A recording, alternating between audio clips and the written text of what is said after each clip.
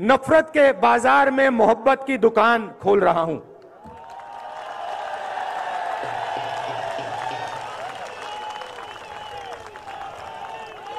आप मुझसे नफरत करो। आप मुझे गाली दो।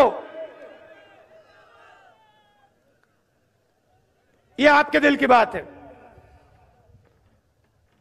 आपका बाज़ार नफरत का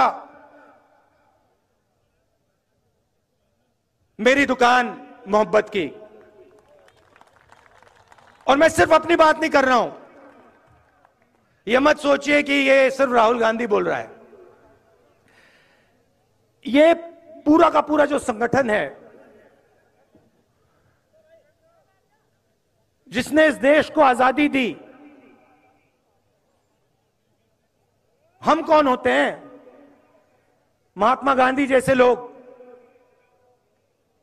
जवाहरलाल नेहरू, सरदार पटेल, अंबेडकर जी, आज़ाद। इन सबने नफरत के बाज़ार में मोहब्बत की दुकान खोली थी। यही हम करते हैं। तो यह है मेरा जवाब बीजेपी के सब लोगों को। आइए आप भी नफरत के बाज़ार में मोहब्बत की दुकान खोलना शुरू कीजिए। रास्ते पे कभी कभी जैसे मैंने यहाँ बोला प्रेस के हमारे मित्रों, मुझे रास्ते पे अपने दूसरे प्यारे मित्र भी मिल जाते हैं। आमतौर से वो बीजेपी के ऑफ़िस के ऊपर खड़े होते हैं। मैं निकलता हूँ, वो ऐसे खड़े रहते हैं।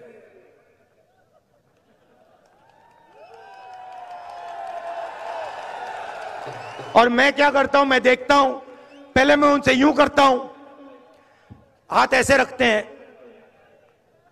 राहुल गांधी को वेव नहीं कर सकते। करना चाहते हैं, मगर अलाउ नहीं है। मैं थोड़ा और करता हूँ, फिर उनमें से एक दो यहाँ से हाथ हिला के यूँ कर देते हैं। और फिर मैं आमतौर से जो आपने मुझे किया, मैं करता हूँ। कभी कभी वो देख के ऐसे करते हैं कि बात नहीं कर सकते ना।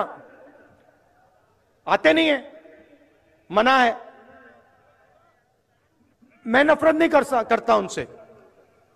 विचारधारा के खिलाफ लड़ता हूँ, मगर वो अच्छे लगते हैं मुझे। सारे जीव अच्छे लगते हैं। तो कभी कभी वो यूँ करते हैं।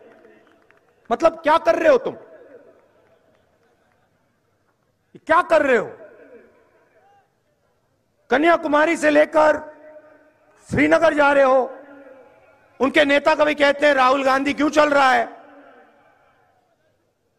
मेरे दिमाग में था, थोड़ी देर के लिए मैं सोच रहा था, ये मैं कर क्या रहा हूँ? पैदल चल रहा हूँ, लोगों से मिल रहा हूँ, गले लग रहा हूँ, क्या कर रहा हूँ? और जवाब मिल गया।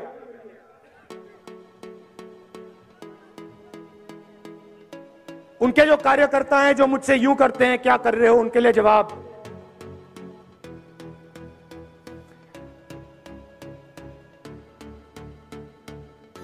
नफरत के बाज़ार में,